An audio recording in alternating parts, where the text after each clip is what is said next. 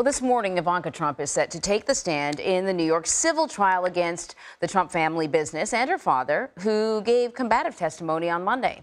She'll face questions about the family's business practices and a case that could determine the fate of Donald Trump's business empire. Scott MacFarlane is outside the courthouse here in New York. Scott, good morning. Anne Marie, good morning to you. Ivanka Trump has kept a low profile ever since her father lost his reelection run in 2020, but she'll be beneath a bright spotlight here today. The fourth of four Trump family members to take the stand and answer allegations of widespread fraud by Trump businesses part of this quarter of a billion dollar civil trial in which the Trump businesses are accused of inflating property values and defrauding banks and insurers in the process. Unlike her brothers and her father, Ivanka is not a defendant in this case.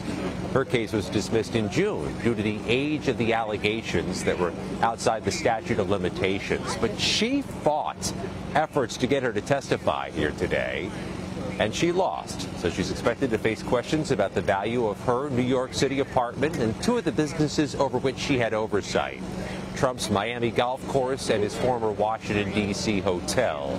And she will be questioned by the same New York State Attorney General prosecutors and sit before the same judge her father did earlier this week.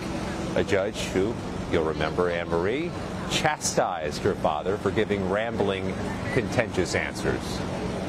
Yeah, those certainly were some fireworks there. You know, we know that the uh, AG James is, is, hoping to fine the com company based on uh, losses, but also, you know, the implications are that she that the Trump family may not be able to do business in New York. But I'm wondering if Ivanka's not really part of this, she's just essentially a witness. Um, does that mean that if the AG gets her way and uh, Trump Inc. cannot function here in New York, Ivanka may still be able to do business here.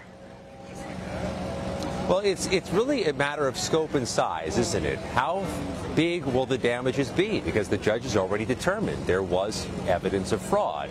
Can Ivanka Trump give some sense of the scope and size of what happened mm. in this alleged fraud?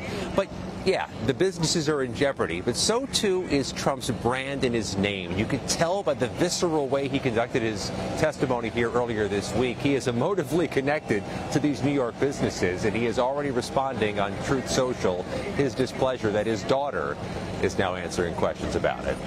Uh, well, I guess I'm going to have to check Truth Social. Jeez, I was trying to stay away. Uh, Scott, thank you very much.